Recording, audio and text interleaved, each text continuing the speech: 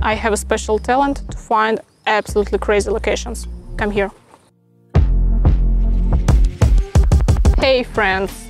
Here is camera girl Helena with my cool lighting setup by Nanlite. I'm in unusual location today. It is old burned barn, which I found in one of the city's quarters.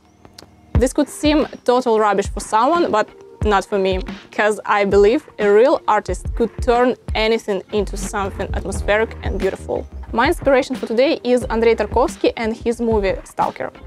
Tarkovsky is one of the greatest directors of all times, and his cinematography inspired so many filmmakers all around the world. And of course, me too. So let's try to create a few beautiful shots right here with help of Nanlite. I will use seven sources, but before I start to adjust them, I want to use some water to create a puddle, and after rain effect, which I will make a little bit later, falling water drops on the surface of puddle will give us a great dramatic look. We need to show that the world doesn't end behind our barn. That's why I use two sources of light to light up different trees, bushes and all space behind the barn in general. I make it with help of two FS200 by Nanlite. One I put from the left, the second I put from the right of our barn.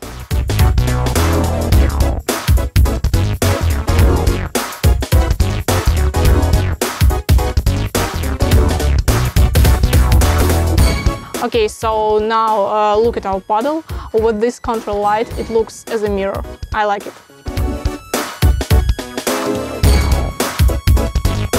Okay, it's our model's turn. Let's light up them. Forza 300B with big softbox 120 by Nanlite.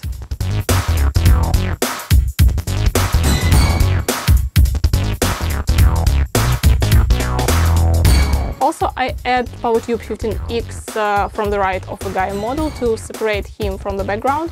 And the second tube I put on a crane stand over the models. I will use lightning preset on it to our atmosphere of rainy night. I like these tubes because I can control them from my phone. Speed of the lightning, brightness and others.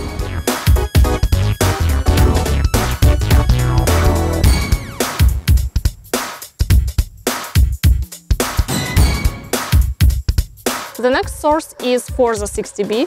I put it right here to light up a wall of the barn and add some interesting shadow effect with help of Branch and my assistant, who will hold it between the source of light and the wall.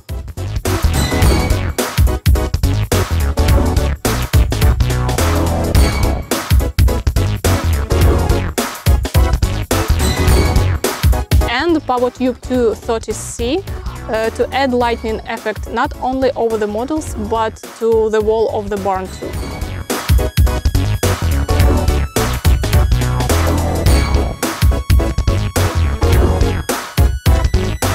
Okay, it's time to check our rain effect. Uh, we make it with help of cheapest materials and a few drops of creativity.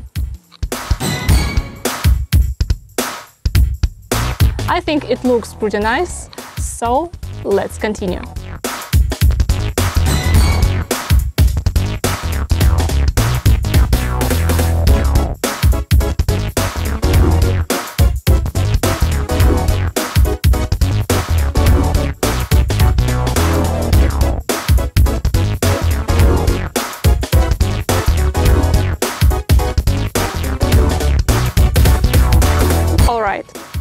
Let's make a few shots with all this magic.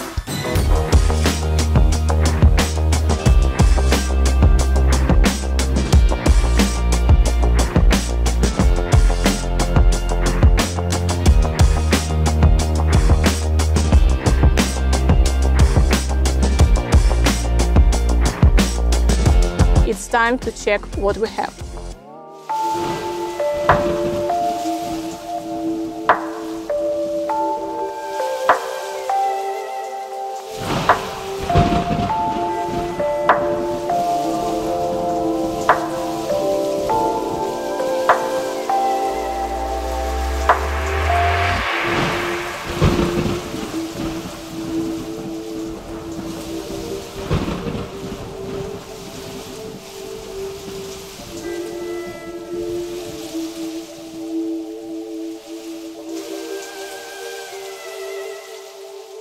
So friends, I hope you like the result and this tutorial was interesting and useful for you.